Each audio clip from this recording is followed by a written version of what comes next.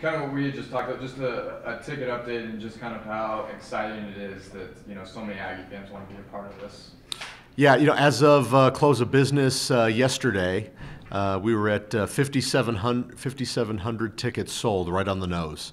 And uh, I was kind of looking right after that first Sunday, you know, we did 619 in about four hours and then, um, you know, 22, 21, then 37. So I got a little sheet right there. But right now we're at 5,700 and, you know, we're, we're still going strong. So I anticipate, um, you know, if we don't sell our whole allotment, which is now 8,000, you know, I'd be a little surprised. I think we're going to, you know, we're going to see several hundred sales every day up until the day of the game.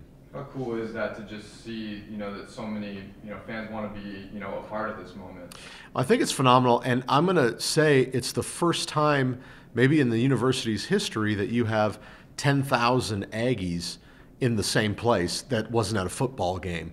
Um, so I think it's going to be a great opportunity for the institution to showcase uh, what we're all about, not just athletics, but from a university as a whole. And I know that um, you know we've been talking to the alumni association, so we're just prepared for an overwhelming crowd of Aggies.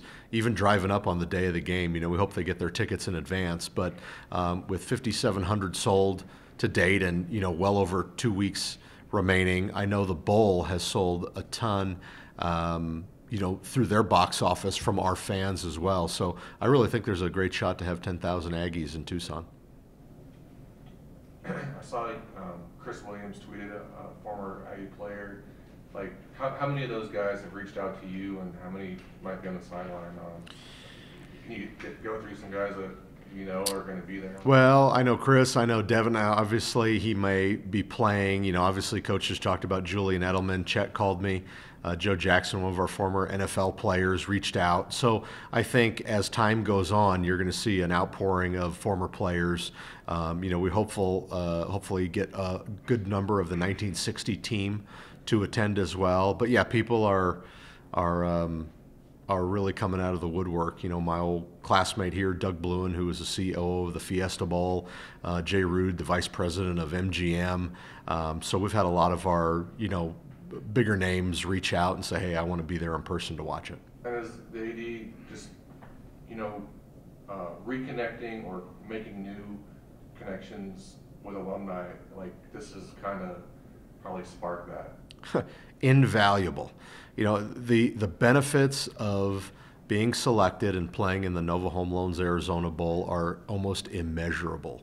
Um, from what you said, reconnecting with alums, um, energizing the fan base who might you know be season ticket purchasers next year, um, opening the doors to new potential donors, um, recruiting in a hotbed, Arizona, uh, making new friends, you know, with the bowl game itself, getting to know their executive team and their leadership. Uh, the benefits of the Nova Home Loans Arizona Bowl is just nothing short of immeasurable. I asked him, you know, obviously with uh, New Mexico State going to be an independent in the future, how much would a good fan showing and good ticket sales and a good showing on the field help you know, future possible discussions?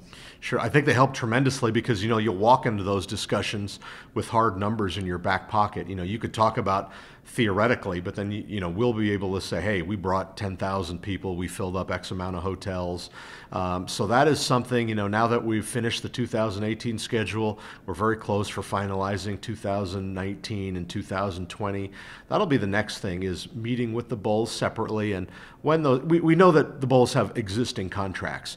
What we want to do is put a bug in their ear when they're renegotiating those contracts could they build in a New Mexico state to say, hey, if you can't fulfill from conference X, Y, or Z, we will select uh, New Mexico State, or we have the ability to select New Mexico State if they're bowl eligible instead of X, Y, or Z. You know, conferences love to be aligned with the bowls, so I don't think it's out of the question that that second theoretical clause could be put in because nobody's going to say, well, if New Mexico State's eligible and you may take them over one of my teams, I don't want to be a part of it. I don't think it works that way. So I think we have a we have a, a great case to make, and you know, strong numbers, strong hotel sales will only bolster that. But that's with the Frisco Bowl, with the Nova Home Loans Arizona Bowl, with the Gildan New Mexico Bowl. You know, after this, we'll we'll be able to kind of go on a little tour and, and make that case.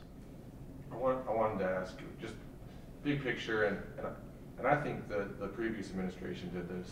They made a commitment to football, and then obviously you've made some decisions since you've been here that have um, strengthened that. Like, does this kind of like justify what the school's done?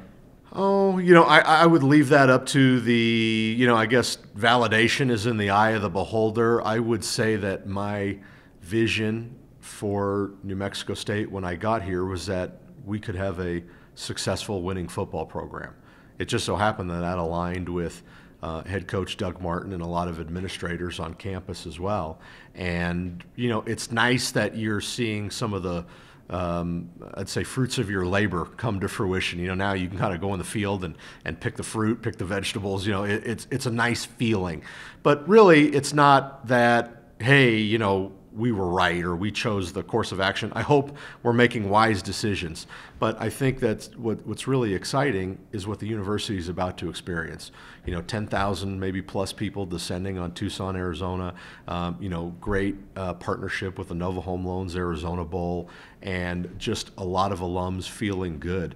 You know, I think it's the eighth time in our university's history that we've had a Grand Slam clean sweep. You know, both UNM and UTEP in football, and all four games in in men's basketball. So I think our donor base, our fans, our community, you know, should feel really good about themselves. And those people who bought stock in Aggie Athletics, whether it's your Aggie Athletic Club donation or buying season tickets, I hope they feel that they got a tremendous, you know, benefit and a reward from from getting in early. And as I said, the the uh, you know the um, bandwagon has shock absorbers. We'll take anybody and everybody for season ticket holders, and uh, we'll talk a lot about the Aggie Athletic Club because that will help us get to the next level as well and keep our football program and our other programs strong. Or you went to to check out like the facilities, all that kind of stuff. You were part of that, right? What It was. What was what was your kind of impression and just kind of the the scene and what it's going to be like come bowl day? Sure. Well, I'd say at the outset, the Nova Home Loans Arizona Bowl folks were phenomenal from a preparation standpoint.